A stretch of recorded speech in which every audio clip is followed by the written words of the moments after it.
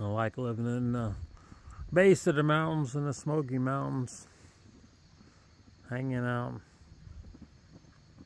Big fire pits down there by the creek, you know.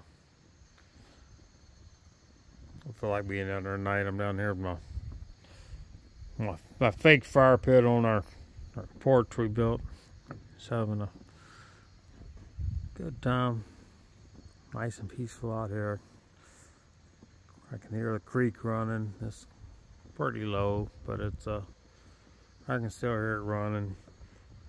Best thing is I have my I have my Betsy girl out here hanging out with me. Yeah, there she is. That's my love of my life besides my wife. So uh so it's great having her out here. That's the makes the best part of the night.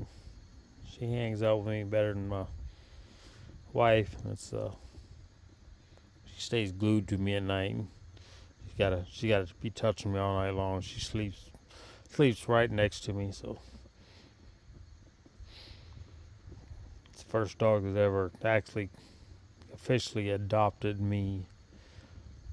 Seriously, there's a story behind that, but uh she just kept showing up and never would leave. So uh my Betsy girl. Have a good night.